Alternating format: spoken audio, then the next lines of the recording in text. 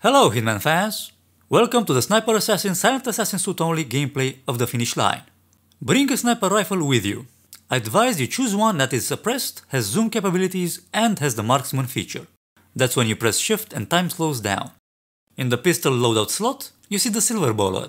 I took it because it's precise. You'll see why that's important in a minute. Are you ready? Let's do this.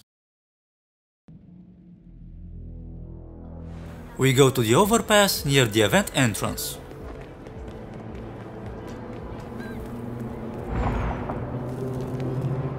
All right there?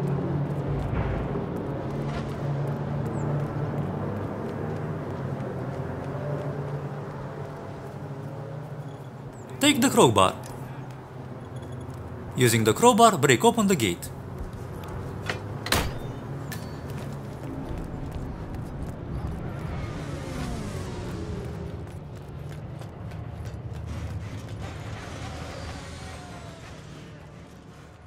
We have arrived.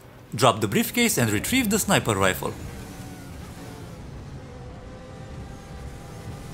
We wait for Sierra Knox to come around and face 47. We're going to shoot her car and complete the challenge moving target. Here she comes. Zoom in and wait. Press shift to slow down time and. Target down. Next up, Robert Knox. with the pistol shoot the laptop near the satellite dish. By destroying the laptop we cause the satellite dish to stop working. Robert Knox will go to the roof and will attempt to fix it. Wait here until the coast is clear.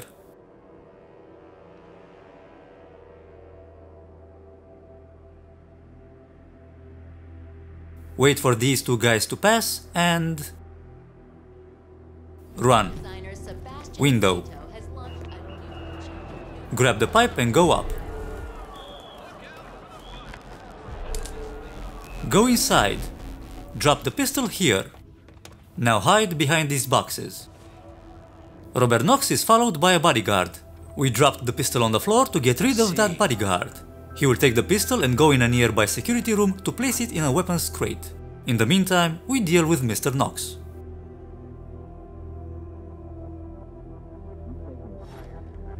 I hear you. Hey,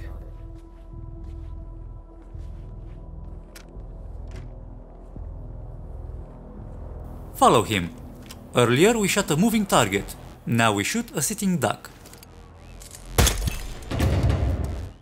Before exiting, let's take care of the surveillance system. Head for an exit, and we'll speak again soon. We exit via the helicopter. Follow me.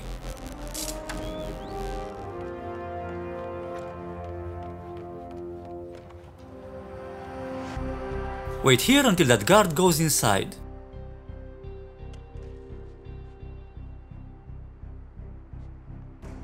Let's go.